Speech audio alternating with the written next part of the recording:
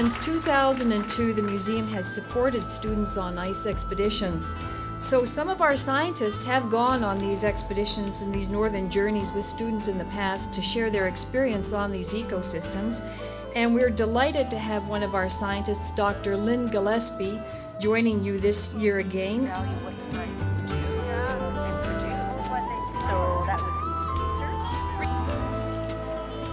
My name is Lynn Gillespie and I'm a botanist with the Canadian Museum of Nature.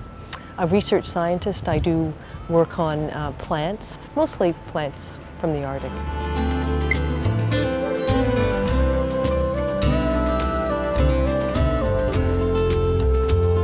One of the projects that uh, I'm working on with other colleagues at the Canadian Museum of Nature is um, a, a new flora of the Arctic. And that flora is really important because it tells us what we have in the Arctic now. Um, and we, we need to really know, understand, know what plants we have right now, where they're distributed, and then we can start monitoring and find out how the plants actually change with climate change. As the climate gets warmer in the Arctic, new plants from further south will start moving in to the Arctic. And they could really change the landscape. This can have a huge impact on um, animals that feed on the plants, the animals that feed on those animals, and of course, um, ultimately humans.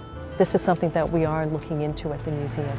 The Students on Ice expeditions is a, is a wonderful opportunity to try and um, impart knowledge to, to the younger generation, and it's a, it's a real delight to be able to do that. This is my third expedition. I was on the very first two to the Arctic, and absolutely wonderful. Um, and it's, it's just a, a, real joy to share my, my enthusiasm, I guess, about uh, the Arctic plants. Well, let's have a little closer look at this. But this one doesn't have grass leaves, though. Well, I think the students are really curious, and so it isn't really that hard to get them drawn lying on the ground with their noses almost touching the ground, looking at the lichens and the plants. It's, um, it's, it's fun, and they, and they, once they're drawn there, they often stay there, and they look and they look and they really discover. There's one girl in particular who um, perhaps um, she's maybe even thinking of going on to be a uh, botanist.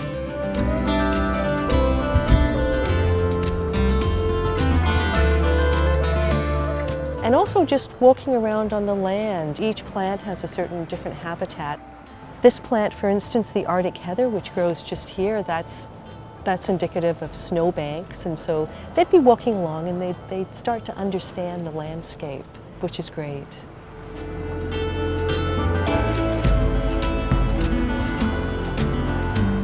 The museum's mission is to increase in throughout Canada and internationally interest in knowledge of, respect and appreciation for the natural world.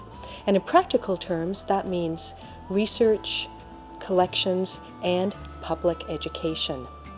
And specifically, the museum is, is very interested in education of youth, and that, of course, is one of the missions of Students on Ice.